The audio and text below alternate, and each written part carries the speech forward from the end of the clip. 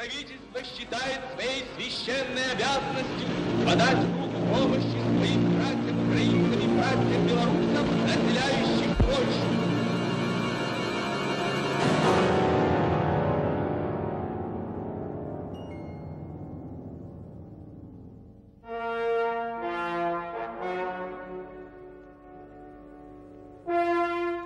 Traktat wersalski w 1919 roku nakreślił część granic odrodzonej Polski. Na wschodzie pod wodzą Józefa Piłsudskiego musieliśmy walczyć i o granice, i przeciw sowieckiej ekspansji na zachód.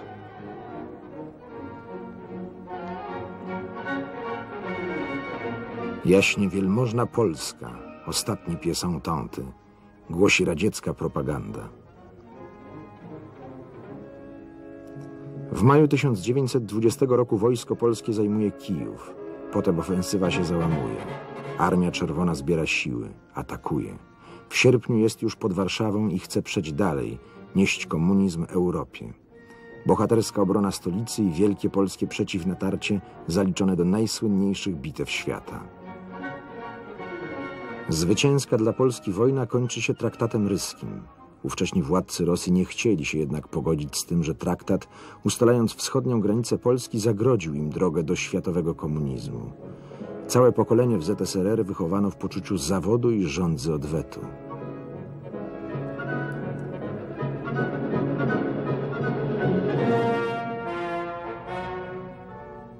Autor wydanej w 1995 roku książki Kryminał Katyński wbrew faktom i odtajnionym radzieckim dokumentom odgrzewa stalinowską wersję, że polskich oficerów zamordowali Niemcy, a nie NKWD. Nie dyskutujmy z nim o Katyniu. Posłuchajmy, co mówi o odzyskaniu państwowości polskiej po I wojnie światowej. Wasza niepodległość stała się możliwa dlatego, że osłabły trzy drapieżniki, które kiedyś rozszarpały was na kawałki. какое-то, э, Otrzymaliście влияние на wolność элиту. w prezencie. Э, вот Ten это fakt не было wpłynął na mózgi желания, waszej elity. э, ну, nie- nie Podarowaną było niezawisłość takiej cenilibyście ceny, sobie если бы bardziej, to gdybyście ją było zdobyli własną to krwią. приобретение. Видимо, A ponieważ скоро у zdobycze Польши terytorialne было przyszły wam łatwo, Nельзя сказать, что было to waszym такого, władzom, э, человека, waszej который- elicie wydawało się, umier że dosyć Polska rano, na э, wszystko może sobie pozwolić. Какое-то, э, ну вот что Польша все может. Ludzi o poglądach Muchina, redaktora nacjonalistycznego pisma Duel, czyli Pojedynek, jest dziś w Rosji niewielu, ale ich wpływ na politykę jest większy niż liczebność. Polska chciała sobie pozwolić na ułożenie poprawnych stosunków ze wschodnim sąsiadem.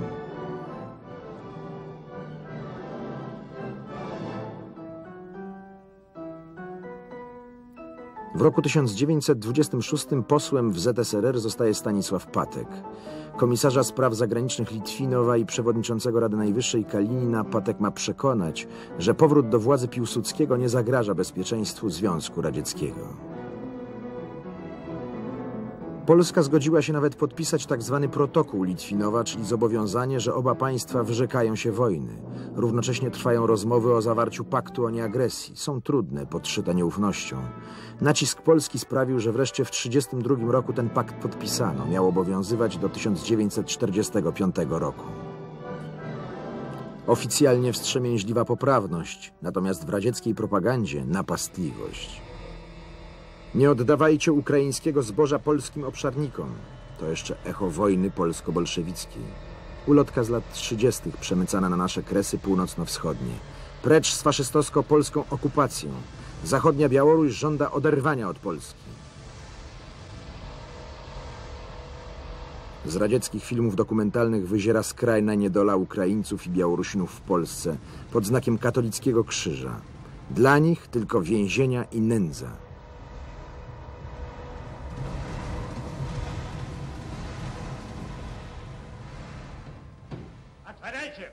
Полиция!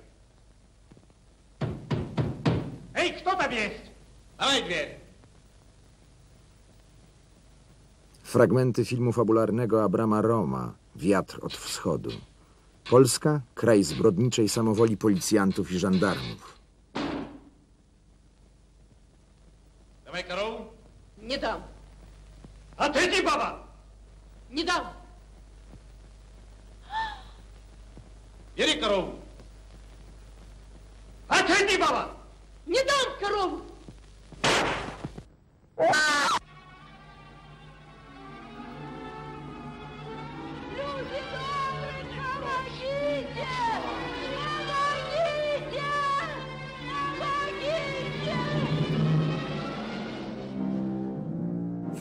Michaiła Roma Marzenie, chełpliwy bawidamek pułkownik to oczywiście uosobienie polskiego pana ciemiężcy.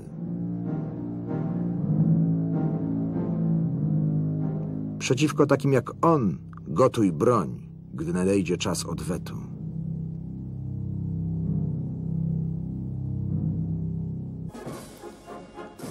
W latach dwudziestych Kreml stawiał na komunizm w Niemczech. Dojście do władzy Hitlera początkowo wywołuje u Stalina konsternację, ale potem też, może nieco skrywany, podziw dla prężnego totalitaryzmu. Współpraca między Niemcami a Sowietami skierowana przeciwko Polsce rozpoczęła się po I wojnie światowej. W chwili, gdy doszedł do władzy w Rzeszy Hitler, zerwał to współdziałanie, uważając, że w danym momencie jest mu ono niepotrzebne. Wrócono do sprawy w roku 1938. Stalin dawał wyraźne sygnały, przedstawił wyraźnie swą ofertę współdziałania z Niemcami. Jednocześnie państwa zachodnie zainteresowane zablokowaniem agresywnych działań Hitlera zdecydowały się na rozmowy z Sowietami na temat stworzenia wspólnego antyniemieckiego frontu. Do Moskwy udała się delegacja Wielkiej Brytanii i Francji. Rozpoczęły się rozmowy. Sowiety jednak zaczęły wysuwać żądania, które mogły wydawać się bardzo dziwne, bowiem żądały, aby w przypadku konieczności na teren Polski poprzez dwa korytarze, północny w okolicach Wilna i południowy w okolicach Lwowa, wkroczyły oddziały Armii Czerwonej. Po naszej stronie istniała uzasadniona obawa, że żądania te wykorzystane zostaną przez Sowiety nie po to, by przyjść Polsce z pomocą, ale po to, by umożliwić zajęcie ziem, których później Sowiety mogą nigdy nie opuścić. Jednocześnie trwała końcowa faza rozmów sowiecko-niemieckich. Do Moskwy w wielkiej tajemnicy udawał się minister spraw zagranicznych Rzeszy Joachim von Ribbentrop.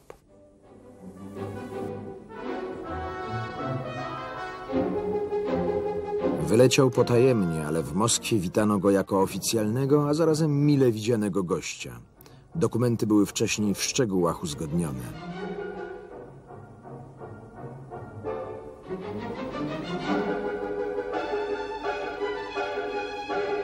W błyskach fleszy Ribbentrop i Mołotow od razu 23 sierpnia podpisują pakt o nieagresji. Natomiast w ścisłym sekrecie podpisują dodatkowy tajny protokół. Nie przewidywał on jednoznacznie udziału Armii Czerwonej w agresji przeciwko Polsce. Ustalał jednak i nanosił na mapę linię rozgraniczenia interesów obu państw w przypadku, jak to sformułowano, zmian terytorialnych i politycznych na obszarach Rzeczpospolitej. Rzecz jasna, zmiany te mogły nastąpić tylko w wyniku działań wojennych. Faktycznie ukartowano rozbiór Polski.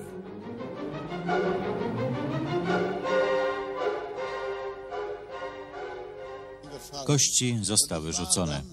W tym czasie najczęściej przebywałem w ambasadzie lub rezydencji ambasadora Niemiec w Moskwie, skąd poprowadzono bezpośrednią linię telefoniczną do Berlina i Obersalzberg. Moje zadanie polegało na tym, że gdy pojawiły się jakieś wątpliwości, na przykład dotyczące granicy z Litwą, to przekazywałem je do Berlina lub Obersalzberg, ale nie rozmawiałem osobiście z Hitlerem. Ale to było interesujące, że zawsze niemal po upływie kilku minut otrzymywałem odpowiedź Hitlera, że się zgadza na wszystko. Oznaczało to, że Hitlerowi śpieszyło się piekielnie, by bez względu na wszystko zakończyć negocjacje podpisaniem paktu. Mógł wtedy bowiem rozpocząć swoją wojnę światową. Trzecia Rzesza napada. Hitler mógł teraz zdecydować się na napaść bez wahania. Miał udokumentowaną aprobatę Stalina, sojusznika, zwolennika ekspansji militarnej.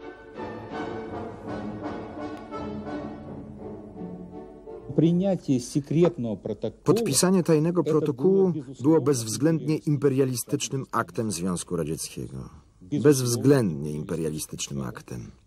Ten tajny protokół zakładał bowiem nie tylko możliwość ochrony Związku Radzieckiego, co byłoby zrozumiałe i usprawiedliwione, ale w samych swoich sformułowaniach, w terminologii, w określeniu celów zakładał możliwość zaboru polskiego terytorium, obalenia państwa polskiego. O tym przecież mówiły postanowienia tego układu. A najstraszniejsze jest to, że Związek Radziecki faktycznie stał się uczestnikiem II wojny światowej po stronie Niemiec. To jest zdanie wybitnego historyka, do niedawna szefa archiwów Rosji, który przekazał Polsce dokumenty o radzieckiej zbrodni w Katyniu. Propagandowi pogrobowcy Stalina są jednak odmiennego zdania.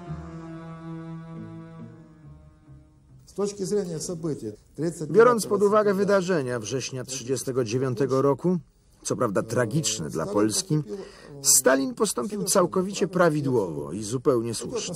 Idzie na ugodę z Hitlerem, dzieli na strefy wpływów tę część Europy, której status jest wątpliwy i przyłącza ją do Związku Radzieckiego. To był bardzo dobry gospodarz. Stalin byłby zdrajcą, gdyby nie skorzystał z takiej okazji.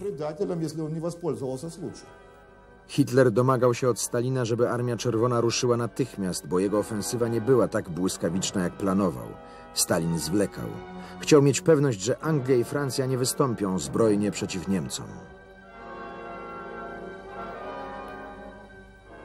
Prawdopodobnie 11 września utworzono zgrupowanie dwóch frontów do uderzenia na Polskę. Front białoruski sformowany na bazie Białoruskiego Specjalnego Okręgu Wojskowego oraz front ukraiński sformowany na bazie Kijowskiego Specjalnego Okręgu Wojskowego. Obydwa fronty dysponowały siłami 10-11 armii. W tym we froncie białoruskim na północy działała trzecia armia, która miała uderzyć w kierunku Wilna i opanować całą Wileńszczyznę. Na południe od niej działała 11 armia, która miała uderzyć w kierunku Grodna i Białego Stoku. A najważniejsze zadanie w tym froncie spełniała grupa konno-zmechanizowana, która jako jedyna w całym froncie białoruskim posiadała jednostki szybkie i jej zadaniem było uderzyć w kierunku Warszawy i opanować prawobrzeżną Pragę. Na południe od tej armii uderzała czwarta armia, która miała za zadanie opanowania północnego Polesia w kierunku na Włodawę. Poniżej tych armii e, front ukraiński rozwinął się również e, w kierunku uderzenia Wisły jak i Sanu, a więc piąta armia frontu ukraińskiego uderzała w kierunku Wisły i miała dojść do e, Dęblina, natomiast szósta armia miała główne zadanie opanować Lwów i wyjść na rubież Sanu. Bardzo ważne zadanie we froncie ukraińskim spełniała 12 armia, której postawiono zadanie odcięcia Polaków od granicy z Rumunią i Węgrami i niedopuszczenia, żeby armia polska mogła wycofać się za granicę tych dwóch krajów. Propaganda wmawia, że Armia Czerwona idzie jak burza. Tak jednak nie było. Wskutek bałaganu zdołano zebrać tylko połowę sił przewidzianych planem. Szwankowało zaopatrzenie i wreszcie opór Polaków był większy niż się spodziewano. Kreml nie silił się na dyplomację. Wicekomisarz spraw zagranicznych Potiomkin wzywa w środku nocy polskiego ambasadora Wacława Grzybowskiego i wręcza mu notę zawiadamiającą, że w związku z rozpadem państwa i ucieczką władz polskich z kraju Armia Czerwona wkracza, by chronić pobratymców, Ukraińców i Białorusinów. Grzybowski protestuje przeciw złamaniu wszelkich norm międzynarodowych i zobowiązań. Noty nie przyjmuje. Wśród polskich żołnierzy rozrzucono ulotki. Pańsko-burżuazyjny rząd polski pozornie przewaliło się. Ministrzy i generałowie schwycili nagrabione imi złoto, tchórzliwie uciekli, pozostawiają armię i cały lud polski na wolę losu. Agitka równie okropna językowo, co kłamliwa. Marszałek Rydz Śmigły był wówczas jeszcze na terenie Polski, w Kutach. I stamtąd wydał dyrektywę. Nakazuje ogólne wycofanie na Rumunię i Węgry. Z Sowietami nie walczyć, chyba w razie natarcia z ich strony albo próby rozbrajania oddziałów. Dyrektywa naczelnego wodza wydana została w dramatycznych okolicznościach. Dążył on przede wszystkim do jednego do utrzymania przyczółku, z którego można byłoby się bronić przeciwko Niemcom. W tych warunkach nie dotarły chyba do niego ostrzeżenia o tym, co szykują Sowiety. ostrzeżenia o charakterze zarówno dyplomatycznym, jak i militarnym o tym, że Sowiety przygotowują się do agresji. W tych warunkach dyrektywa miała jak gdyby dwoisty charakter. Z jednej strony nakazywała opór, ale w przypadku, gdy Sowiety wyraźnie staną na drodze. Można ją było interpretować zarazem jako polecenie niestawiania oporu. Część jednostek walczyła, część kapitulowała. W efekcie w ręce sowieckie wpadła broń, która mogła być dalej użyta w walce o niepodległość, w walce przeciwko obu agresorom. Propaganda z lubością ukazuje skutki tej części dyrektywy, która mówiła z Sowietami nie walczyć. Wyśmiewają się z tygrysiego emblematu Karasia. Rzekomo został ostrzelany. W rzeczywistości niesprawny pozostał na lwowskim lotnisku, gdy większość samolotów odleciała do Rumunii. Żadnej polskiej maszyny bojowej Sowieci nie strącili. Okręty flotylli pińskiej celowo zatopiono, żeby nie dostały się w ręce wroga.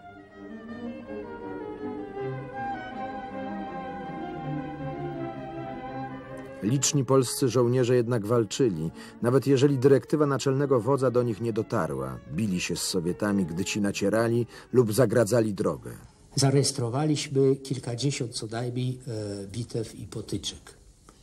Z takich najważniejszych, dużych jak na ówczesne możliwości, na ówczesne stosunki, trzeba wymienić cztery.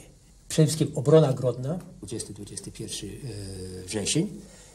Przechodzimy e, na południe, Tutaj trzeba wymienić Puchową Górę jednym tchem Jabłoń, bo tam była ta pierwsza bitwa, to był 29 wrzesień i 30 wrzesień bitwa pod Milanowem. Tam walczyły elementy dywizji Kobryń, wchodzącej w skład samodzielnej grupy operacyjnej po lesie generała Kleberga. I wreszcie walki tutaj, na południu Polski, w okolicy gdzieś na południe od e, Mościska, gdzieś przed, chyba na północ od Sambora, e, Sutkowce, gdzie grupy grupa duża, składająca się z różnych formacji kawaleryjskich generała Andersa, po walkach z Niemcami parotygodniowych usiłowała przedrzeć się na Węgry. Pierwsze uderzenie w nierównej walce przyjął na siebie Korpus Ochrony Pogranicza. W chwili wybuchu wojny w 1939 roku służyłem w, ko w Korpusie Ochrony Pogranicza, a ściślej biorąc w batalionie fortecznym Sarny. Głubocenia obejmowały około 14 kilometrów w głąb. W chwili wybuchu wojny y, część y, wojska zostało przekazane do innych fortyfikacji na północ i na zachód, natomiast część, y, jedne, część wojska pozostało w fortach jako rezerwa. 17 września Sowieci zaatakowali czwartą kompanię. Po walce od godziny gdzieś 5 rano do godziny 2 po południu zajęli część fortyfikacji i wycofaliśmy się tego samego dnia z fortyfikacji. I wyruszyliśmy w długi 450-kilometrowy marsz od Sarn aż do Wytyczna. Dowódca Korpusu Ochrony Pogranicza generał Wilhelm Orlik Rückemann skoncentrował 7 tysięcy kopowców w rejonie Dawid Grudka na Polesiu. Zarządził zorganizowane wycofanie się z bronią na zachód.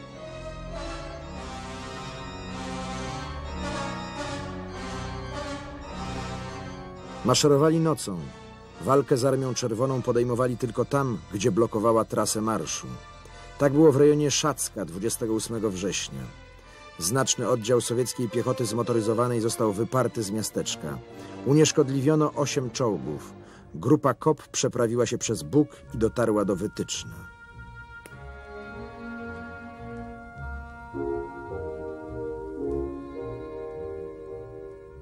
Zasadnicza faza ostatniej bitwy pod Wytycznem odbyła się tu, w, tych, w, tym, w tej miejscowości. Artyleria sowiecka stała w pobliskim folwarku i stamtąd kierowała ogień, ogień na nasze pozycje. Przygotowanie artyleryjskie trwało od, od około dwóch godzin i kierowane było przez latający nad nami samolot od strony szosy. Wysunęły się tyroliera sowieckiej piechoty. Atak zbliżył się już na odległość ostrzału i wtedy rozpoczęła się e, ostatnia, ostatnie natarcie, które zakończyło się niepowodzeniem. To była, e, te walki prowadziła grupa południowa dowodzona przez pułkownika Sulika. Natomiast grupa północna, dowodzona przez pułkownika Dyszkiewicza i Jury, była, nie zdążyła przejść szosy Lublin-Włodawa i zajęła stanowiska obronne za szosą we wsi Wytycznej. W tej grupie zamykającej kolumnę znalazłem się również ja wraz z ochotnikami, studentami i młodzieżą gimnazjalną, która od początku tego wielkiego marszu towarzyszyła Korpusowi Ochrony Pogranicza. Po zwycięskim udziale w bitwie pod, pod Szackiem przeszliśmy przez Bóg i kierując się na Wlodawę dotarliśmy 31 października o świcie do Wytyczna. Tutaj z, z marszu zostaliśmy rozlokowani w pozycjach obronnych za lasem, na polach uprawnych z kapustą. Mieliśmy za sobą nieprzespane noce i żadnego je, jedzenia, także korzystając z okazji, czekając na atak, posilaliśmy się y, tą surową kapustą, żeby zaspokoić pierwszy głód. Nie trwało to długo. Po chwili widzimy nacierającą tralierę sowieckiej piechoty w dużej ilości. Próby poderwania się nie udają się, bo jest silny ostrzał z karabinów maszynowych i broni ręcznej. Pada koło mój towarzysz Roman Gawlowski, uczeń gimnazjalny, syn urzędnika ze starostwa w Stolinie. Ja i inni żołnierze zostajemy odprowadzeni na tyły, gdzie już na wielkiej polanie otoczonej czołgami następowała zbiórka jeńców, żołnierzy i oficerów. Po całą noc pędzono nas do Lubomla. Po drodze, nie pozwalając odpocząć, ani napić się, ani nic y, zjeść. Niektórzy, którzy nie, nie wytrzymywali marszu i padali, byli po drodze dobijani przez konwojentów. Dopiero w Lubomli po raz pierwszy udało się utrzymać trochę jedzenia i jakąś wodę i po załadowaniu nas do pociągów, wagonów, do wagonów towarowych od, odtransportowano do ukraińskiego miasta Szepietówki. Tam rozsegregowano żołnierzy i oficerów. Oficerowie byli w osobnych barakach, które można było odwiedzać. Ja tam jeszcze widziałem niektórych znajomych podoficerów i oficerów z, ze Stolina i z, i z tych, których poznałem na szlaku bojowym, którzy już nigdy nie wrócili. Natomiast żołnierzy, którzy mieli miejsce zamieszkania na terenach wschodnich, puszczono do domów. W tym domu zostali złożeni polscy żołnierze, którzy zostali ranni w bitwie pod Wytycznem. Żołnierze ci zostali pozbawieni opieki lekarskiej i przez dobę czasu przebywali tu i na skutek tego wykrwawili się i nie żyli już. Żołnierzy tych zabrano i pochowano e, we wspólnej mogile na cmentarzu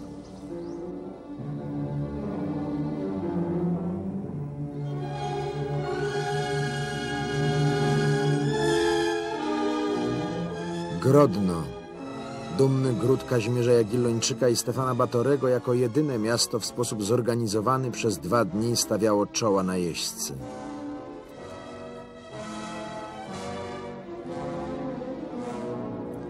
Po raz pierwszy sowiecka kronika pokazała ślady walk. Zdaniem komentatora z wież kościołów garnizonowego i farnego ostrzeliwały się polskie oficerskie bandy.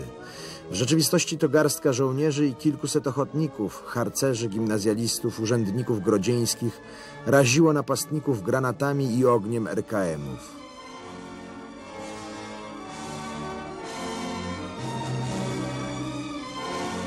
To ślady po sowieckich pociskach artyleryjskich, którymi strzelano do obrońców. Przez most wczesnym rankiem 20 września zaatakował oddział pancerny. Przedostał się do miasta. Tu w kilku punktach obrońcy obrzucili czołgi butelkami z benzyną. Siedem maszyn spłonęło. Kolejny atak pancerny i kolejne straty. Buńczuczni tankiści czmychnęli. Dopiero następnego dnia zmasowanym atakiem kilkudziesięciu czołgów i znacznych sił piechoty Sowietom udało się opanować miasto. Nieliczne oddziały regularnego polskiego wojska walcząc wycofały się w stronę Litwy. Agresor stracił kilkuset zabitych i rannych. Przyznał się do straty 20 wozów bojowych.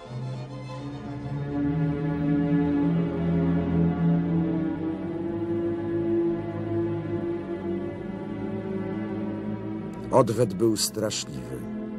Kilkudziesięciu obrońców i mieszkańców Grodna krasnoarmiejcy rozjechali czołgami. Kilkuset rozstrzelali na psiej górce.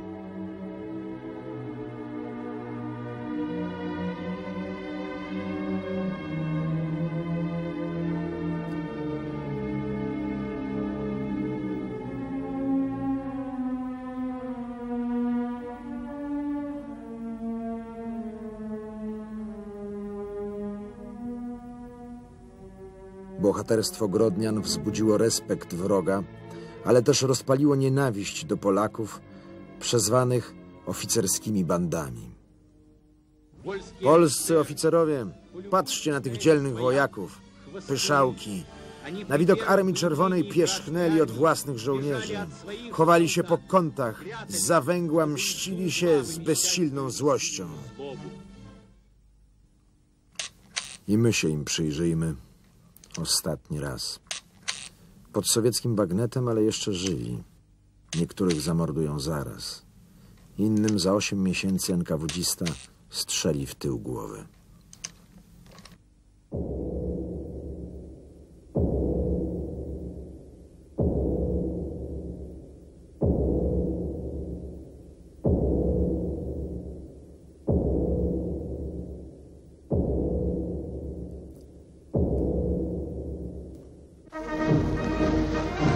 Kilku dniach sowieckiej napaści dochodzi do pierwszych kontaktów Armii Czerwonej z Wehrmachtem.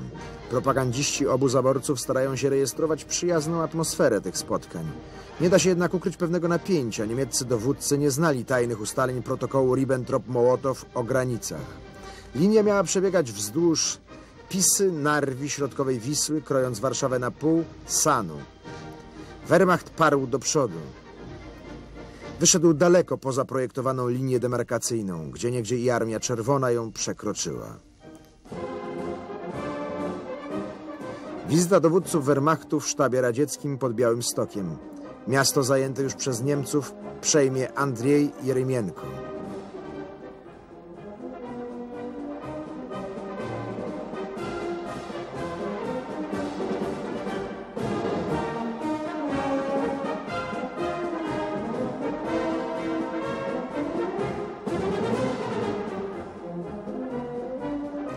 Przed kamerą generał pozoruje naradę wojenną. W rzeczywistości żadnych działań bojowych już nie będzie. Wojska Jeremienki wkroczą do miasta, które opuszczą Niemcy. Ten moment uchwycił wermachtowski fotograf na ulicy Lipowej w Białymstoku.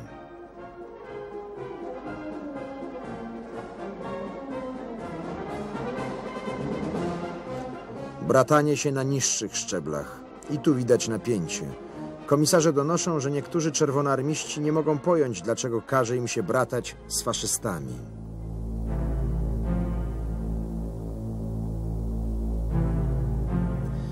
Szczegółowe ustalenie granic rozbioru Polski powierzono politykom wysokiego szczebla. ZSRR i Niemcy zawierają traktat o przyjaźni i granicy. Linia rozgraniczenia ma przebiegać wzdłuż Pisy, Narwi, Bugu i Sanu.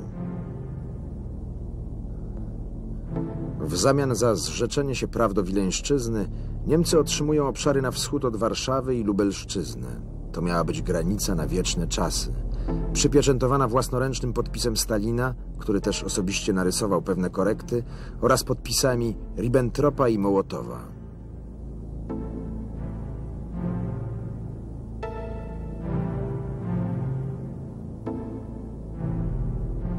Michał Kostin w 1939 roku był urzędnikiem ambasady Związku Radzieckiego w Warszawie. Powołano go do sowiecko-niemieckiej komisji wytyczającej granice między zaborami. Wyjaśniono nam, że powołano sześć takich mieszanych podkomisji rządowych, których zadaniem jest delimitacja nowej granicy. Granicy dzielącej strefę wpływów radzieckich i interesów Niemiec, jak mówiono. Przed nami była bardzo skomplikowana praca. Bowiem zdarzało się tak, że ta granica miała przebiegać przez jakiś punkt na mapie, czyli w rzeczywistości osiedle, miasteczko, w którym jest na przykład 200-300 domostw. Wówczas najczęściej przecinała je na pół, przechodząc niejednokrotnie przez ulicę. Z jednej strony granicy była już strefa interesów niemieckich, a z drugiej pozostawała jeszcze ziemie Polski lub Litwy. Tak zlokalizowano pierwszy słup, od którego wzięła początek granica, ciągnąca się w kierunku Brześcia Litewskiego, przez augustowskie lasy i błota i dalej. Pierwszy słup znalazł się na styku trzech granic Litwy, Prus Wschodnich i Polski. Słup, a właściwie dwa słupy oznaczono państwowymi symbolami III Rzeszy i ZSRR. Następny słup musiał być widoczny z miejsca, gdzie stał poprzedni. I tak po prostu na oko wytyczano całą granicę od Prus Wschodnich do samego południa. Niemniej z pułkownikiem Gromadinem i Sinicynem często zastanawialiśmy się, po co wytyczamy tę granicę. Co nam do tego? Było to nieuczciwe, niegodne zajęcie, hańbiący postępek. W dodatku dzieliliśmy cudzą ziemię, bo przecież Polska była obcą ziemią.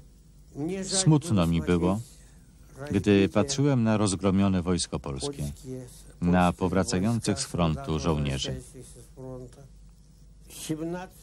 A 17 września 1939 roku zamiast codziennych gazet ukazały się w Warszawie ulotki tej treści.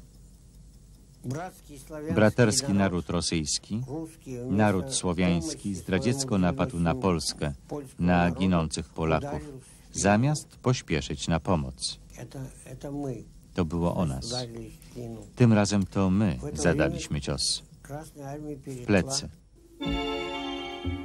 Pewne przetargi między zaborcami dotyczyły również Lwowa. Pod miastem stały obie armie. Polska załoga mogła się bronić, ale wiedziano, że będzie to opór krwawy i beznadziejny. Komendant miasta generał Władysław Langner postanowił poddać Lwów Armii Czerwonej. Dowódca frontu ukraińskiego Siemion Timoszenko gwarantował honorowe warunki kapitulacji. Zaproszonych na naradę polskich oficerów otoczyli krasnoarmiejcy i ślad po nich zaginął. Wiarołomcy triumfowali. Oto nasz czerwony sowiecki sztandar. Umiłowana flaga ojczysta na zawsze zatknięta nad naszym ukochanym ukraińskim miastem.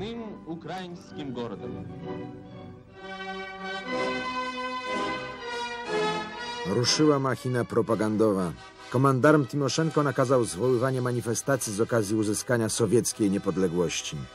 Utworzony przez Timoszenkę kolaborancki polskojęzyczny dziennik pisze Pracujący zachodniej Ukrainy, którzy przez dziesiątki lat znajdowali się pod jarzmem polskich obszarników i kapitalistów, z dumą oświadczają, że chcą żyć pod słońcem stalinowskiej konstytucji, w rodzinie szczęśliwych narodów radzieckich.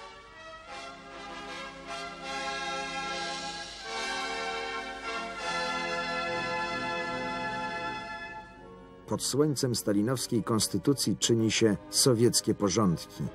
Do zabytkowego lwowskiego magistratu wprowadzają się nowi lokatorzy. Figuranci służą do przyklaskiwania temu, co postanowią politrucy. Bolszewicy żądają, ażeby polskich księży i zakonnice przepędzić z miasta.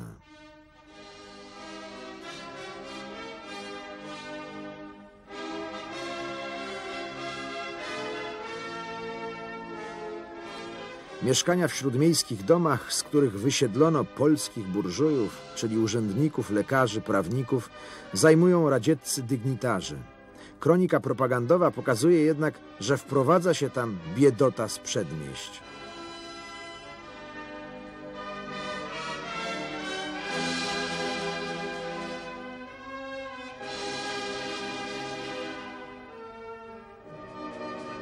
Białystok obejmuje we władanie dowódca frontu białoruskiego Michaił Kowalow. Powołuje tymczasowy zarząd miasta, ale faktyczne sowieckie porządki zaprowadzają oficerowie NKWD.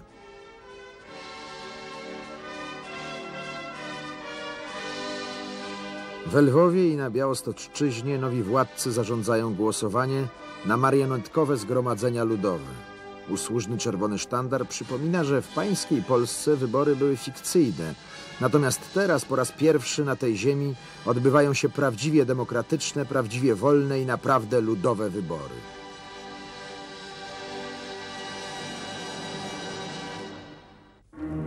Spontaniczne wiece popierające nową władzę, choć może nie wszyscy wykazują należyty entuzjazm. Timoszenko nawołuje Ukraińców. Bronią, kosami, widłami, siekierami bij odwiecznych wrogów polskich panów. Jawne przyzwolenie na krwawą rzeź, która niestety nastąpiła.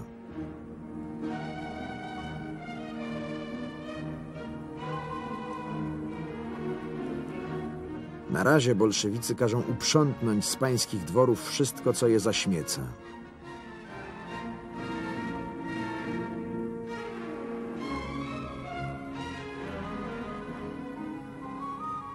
Z wielkim szumem ogłasza się reformę rolną. Pańskie bydło, pańska ziemia pójdą w ręce ukraińskich chłopów. Długo jednak nie pogospodarują na swoim. Wkrótce zapędzą ich do kołchozów, które tak zachwala czerwony sztandar.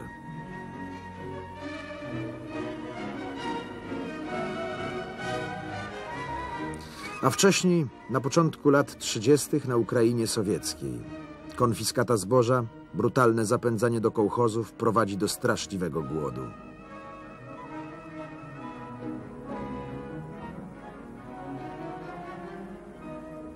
Wymierają całe wsie i regiony, ginie z głodu 7 milionów ludzi.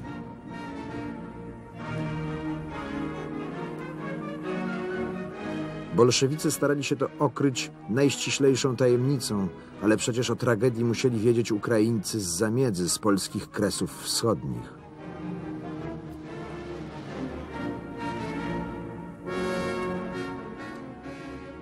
Oficjalne kroniki kazały im się jednak cieszyć ze wstąpienia do sowieckiego raju.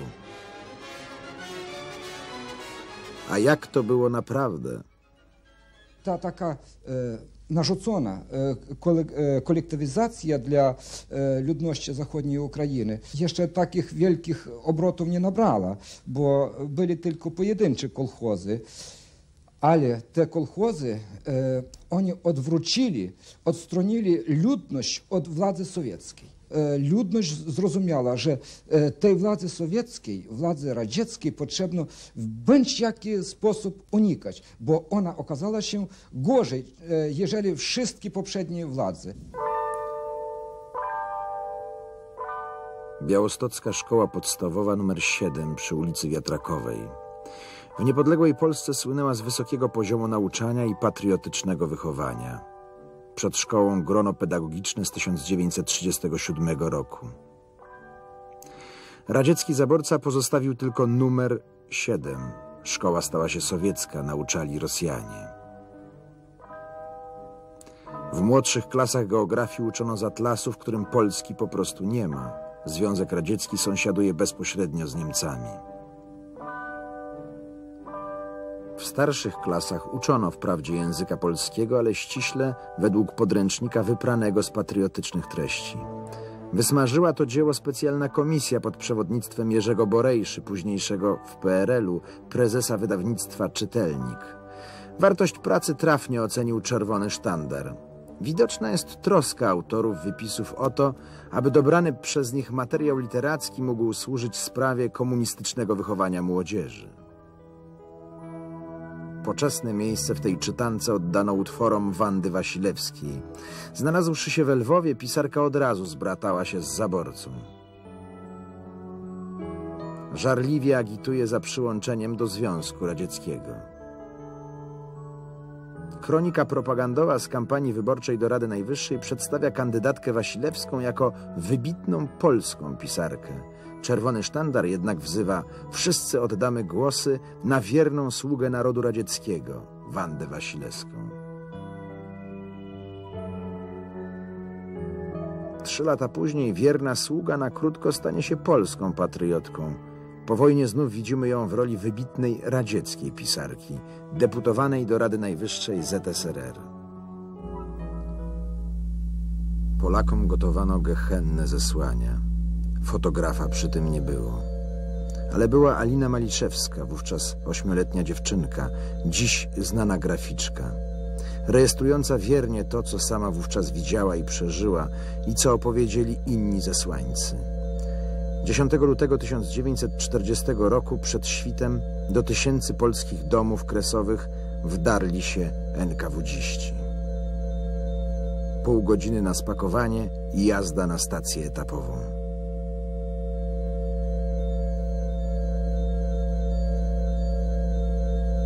Zamiast 30 ładowano do wagonu przeszło 70 osób.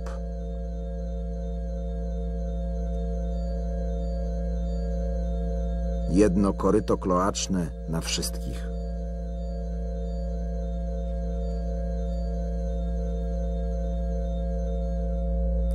Wodę, i to w ograniczonych ilościach, pozwalano nabierać raz na dwie doby.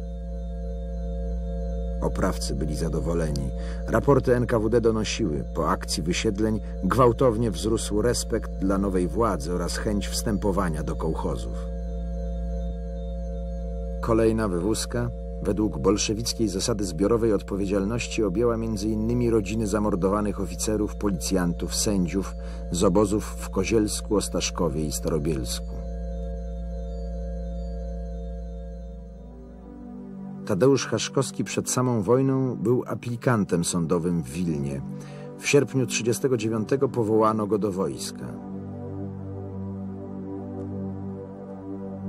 W pamiętniku, który był właściwie listem do żony, 4 sierpnia zapisał Dzisiaj urodziła się nam córka. Chciałoby się mieć pierwszego syna, ale co robić? Niewielka to bieda, bo i tak nie ograniczymy się do jednego dziecka. Ostatni zapis w notesie. Kochana Wiko i ty, córeczko, bądźcie zdrowe i pamiętajcie, że wszyscy jesteśmy Polakami i słodko jest umrzeć za ojczyznę. Notes cudem przez okazję dotarł do żony ze Starobielska.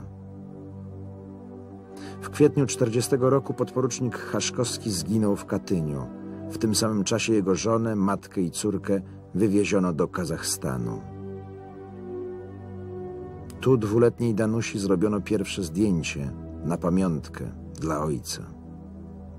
Rok później Danusia umarła z wycieńczenia.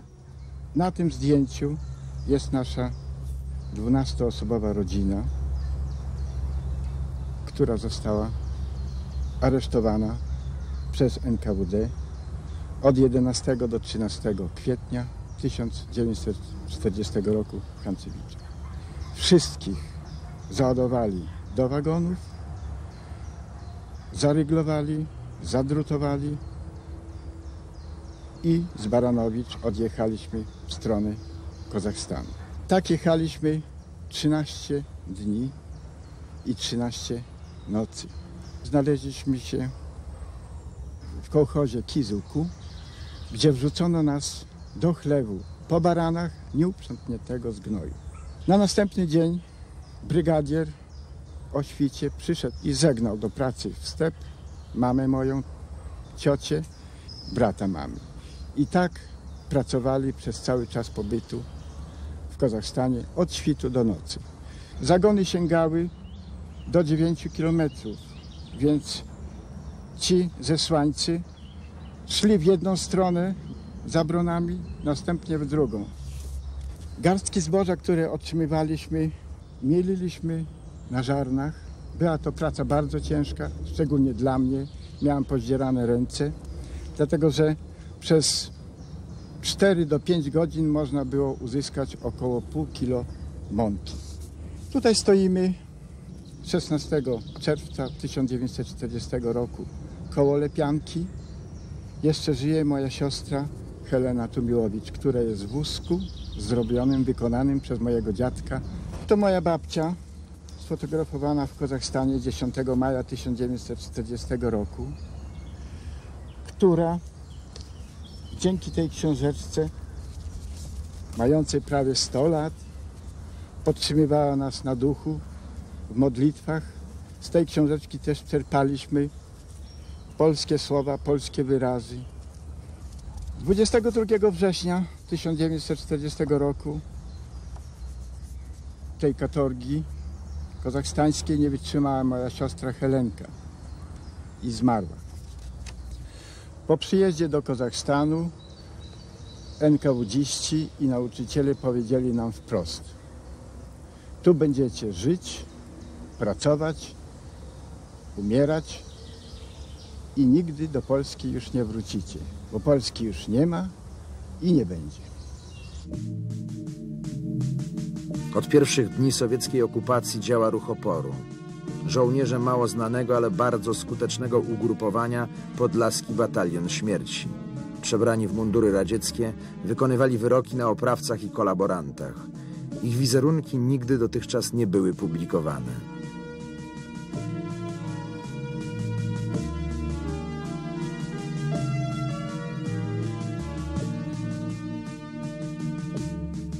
Był w batalionie od początku, potem komendant obwodu AK Bielsk Podlaski. Współorganizator Podlaskiego Batalionu Śmierci.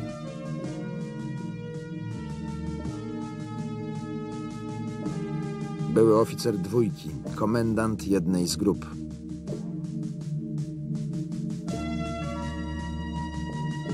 Dowódca grupy bojowej na gminę Brańsk. Batalionie kierował wywiadem.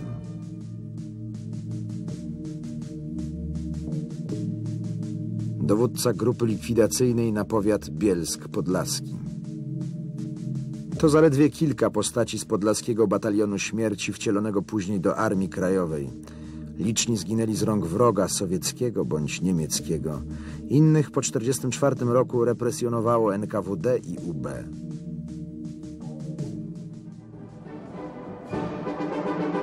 Obchody rocznicy rewolucji październikowej na Placu Czerwonym. Siemion Timoszenko kordialnie ściska dłonie współzaborców Polski. Sowiety pozostają lojalnym sojusznikiem. Czerwony sztandar pisze.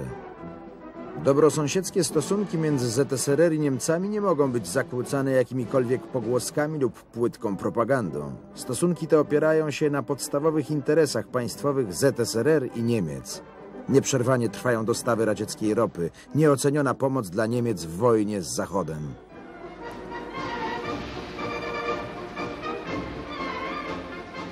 Mołotow przyjeżdża do Berlina z propozycjami pogłębiania współpracy. Mimo serdeczności i zapewnień o uznaniu dla wielkiego męża stanu, Stalina, rozmowy nie przynoszą oczekiwanych przez Mołotowa wyników. Hitler już nie chce umacniania sojuszu. Ma inny plan.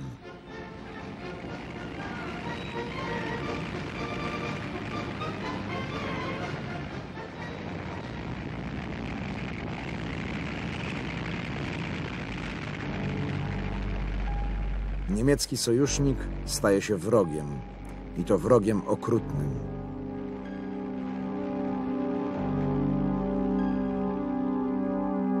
Odwraca się kolejna karta historii.